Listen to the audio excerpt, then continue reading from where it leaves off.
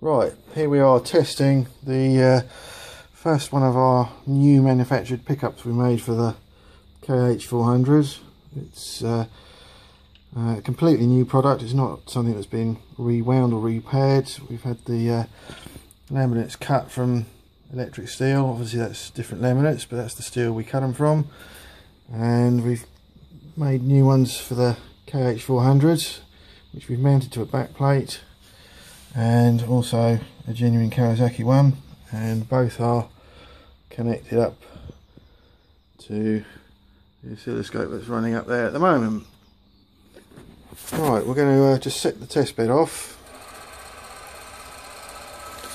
There it is, it's running at about 500 RPM now, so this is the maximum speed the engine will run at when you kickstart it.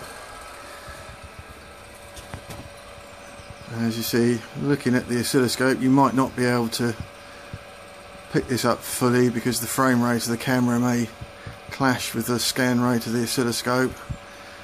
But uh, we can say, straight away see here that both are identical.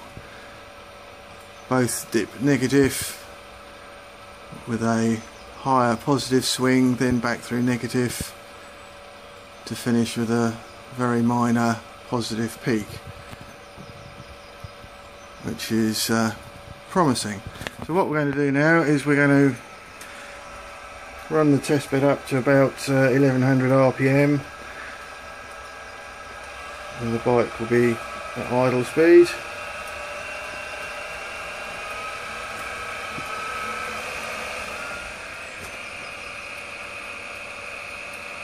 And again straight away we can see that the traces are identical. Again, you may not be able to see this very clearly,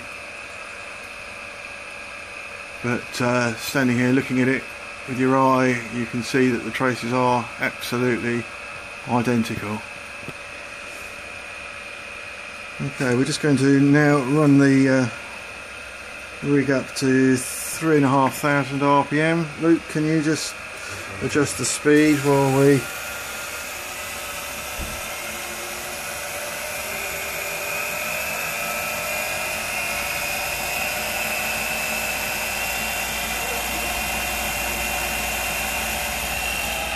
So there it is.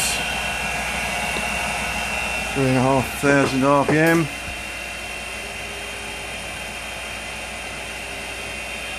And we're now going to have to adjust the voltage scale. The bottom one is the replica part that we've made and the top scale is the genuine Kawasaki. And again, timing interval is identical.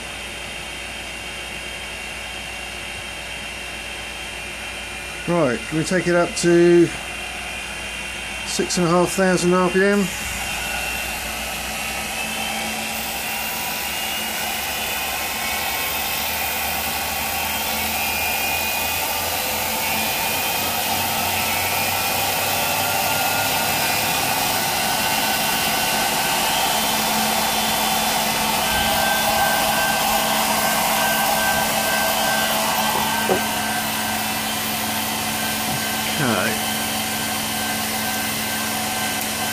Okay. Just adjust the range of the scope again so we can see it better.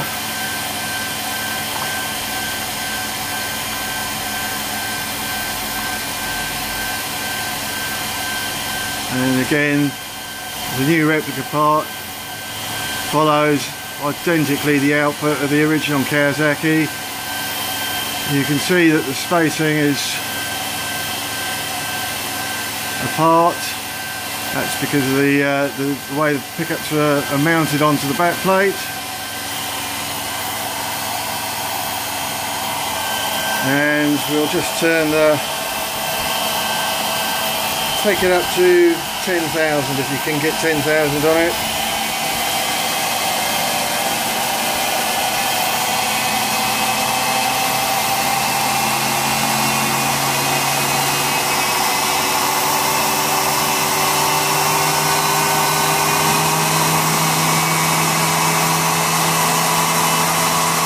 right? It's not quite maximum speed of the test rig. But again, nice. Yeah, really nice, steady, clear signals from both pickups. So I think we can call this a success.